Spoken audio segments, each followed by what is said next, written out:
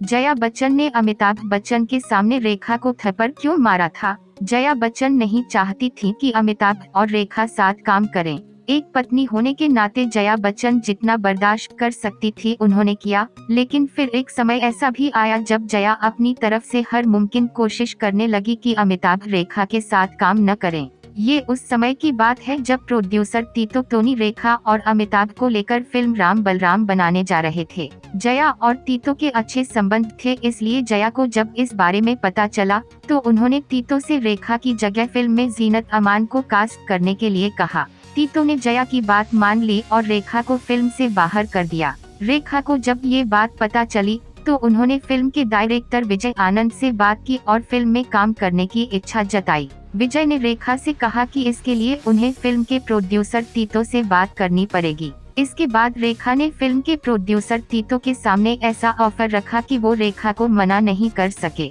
रेखा ने प्रोड्यूसर तीतो से कहा कि वो इस फ़िल्म में बिना पैसे लिए काम करेंगी।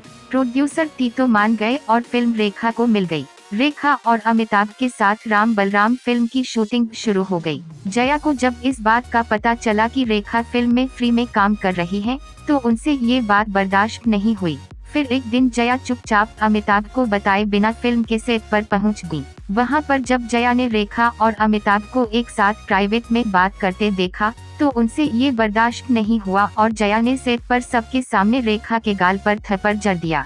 ये सब इतना अचानक हो गया कि अमिताभ को समझ नहीं आया कि वो उस समय क्या प्रतिक्रिया दें। वो चुपचाप सेट छोड़कर घर चले गए।